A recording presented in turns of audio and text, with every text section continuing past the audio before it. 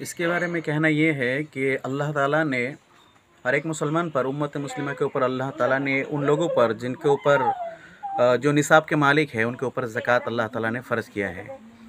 तो ये हमारे कारी अजहर साहब जो गुजरात के हैं हमारे हज़रत के उस्ताद भी है तो उन्होंने अपने ज़क़़त के पैसे और दूसरे पैसे दे के गरीबों के जो गुराबा है ज़रूरत में उनके क्या क्या मदद किए है।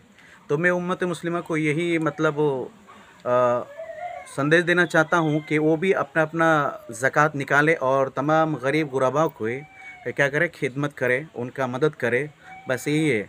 आप हम लोग अगर दूसरे की मदद नहीं करेंगे अगर ज़क़़त नहीं निकालेंगे तो हमारे इलाके में के गरीब गुरबा और ज़्यादा होंगे। उससे हमारे इलाके के क्या होगा तरक्की नहीं होंगे। जब हम अपने पैसों से ज़क़़त निकालेंगे लोगों को देंगे तो इलाके के आदमी क्या होंगे गरीब गुराबा नहीं रहेंगे वो तरक्की करेंगे। इसलिए मैं सबको ये मतलब संदेश देना चाहता हूँ सभी अपने अपने मालों से ज़क़़त निकालें और गरीबों को मदद करें ताकि इलाके से मोहताज की गरीबी क्या हो जाए दूर हो जाए। और उम्मत मुस्लिमा के ऊपर फ़र्ज़ किया है और इसको अदा करना भी हमारे लिए क्या है ज़रूरी है।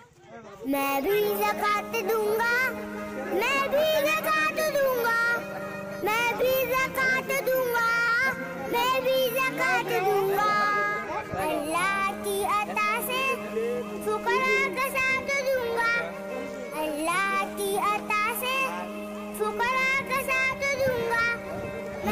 मैं भी दूँगा मैं भी ज़कात दूँगा दूँगा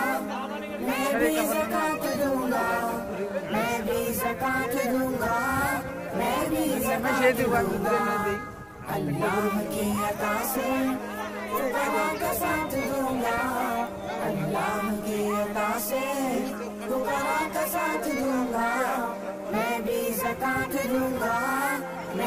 ज़कात दूँगा कर साहिब निसाब हूँ मैं काबिल हिसाब हूँ।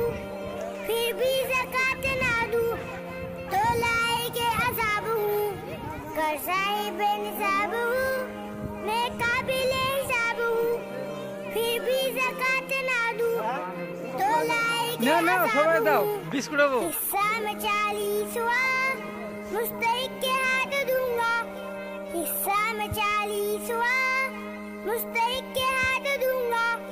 मैं भी जक़ात दूँगा, मैं भी जक़ात दूँगा। मैं भी जक़ात दूँगा, मैं भी जक़ात दूँगा। मैं भी जक़ात दूँगा।